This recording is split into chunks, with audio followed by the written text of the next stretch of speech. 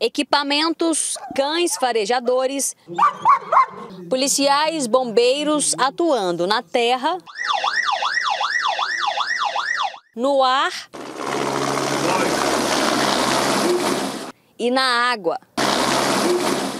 Todos já estão apostos para reforçar a segurança nos quatro cantos de Goiás neste carnaval. Principalmente nas cidades onde nós teremos aí a maior concentração dos eventos de carnaval, para poder ali orientar as pessoas, também nas rodovias, orientar as pessoas nos locais para que não excedam e para que realmente possam ali curtir o carnaval, mas respeitando todos os outros que estão ali naquele momento também de diversão.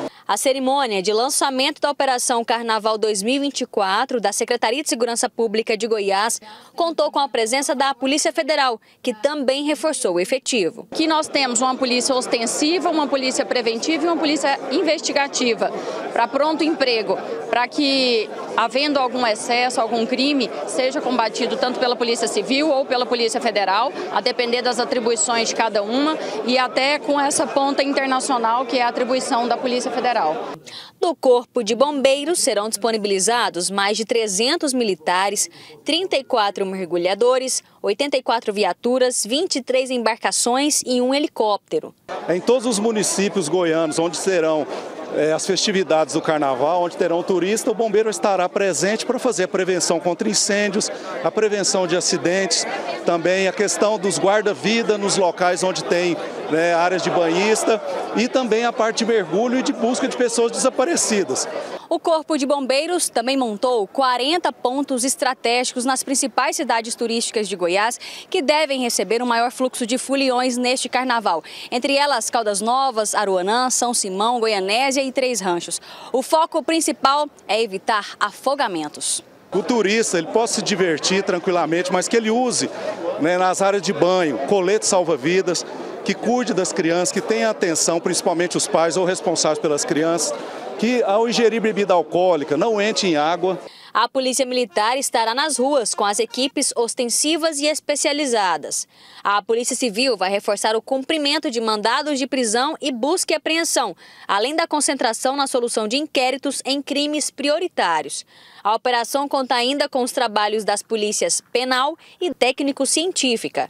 Nós estamos é, deslocando tropas de unidades especializadas é, de todas as forças mas é, os novos policiais civis que foram, acabaram de ser nomeados para o interior do Estado. É um planejamento muito grande que foi feito de forma estratégica para que a gente possa levar para as principais cidades turísticas do interior a presença das forças de segurança pública do Estado de Goiás. As ações integradas de segurança estarão também nas rodovias federais que cortam o estado de Goiás. É um feriado em que, tradicionalmente, o fluxo de veículos praticamente dobra nas rodovias. Então a gente pede para que o motorista viaje com tranquilidade, com paciência, respeitando a legislação de trânsito, respeitando ali é, todo o fluxo, as normas, as normas de trânsito e muito cuidado com os itens obrigatórios do seu veículo. Durante o trabalho, com foco na proteção das mulheres, serão distribuídos panfletos como esse, com informações completas sobre como fazer as denúncias e como baixar o aplicativo Mulher Segura, disponível nas lojas de aplicativo de graça para todas as mulheres. Momento que ela acessa aquele aplicativo ali, rapidamente a nossa polícia chega. Seja ela dentro do ônibus, seja ela no carnaval, seja ela em qualquer local que ela esteja no meio da rua, ela imediatamente terá a presença da nossa polícia. Todos os nossos policiais estão autorizados a agir imediatamente. O aplicativo ele garante uma pronta efetividade no seguinte sentido dela não ter que ir a uma delegacia, mas dela receber a polícia militar imediatamente onde ela estiver. Com a segurança garantida, os foliões poderão se divertir e movimentar o turismo e a economia das cidades. Seguramente nós temos aí mais de 20, 30 cidades que vão movimentar a economia dos locais, gerando muito emprego, distribuindo riqueza e com esse elemento da segurança pública a gente consolida Goiás também como uma grande opção de carnaval.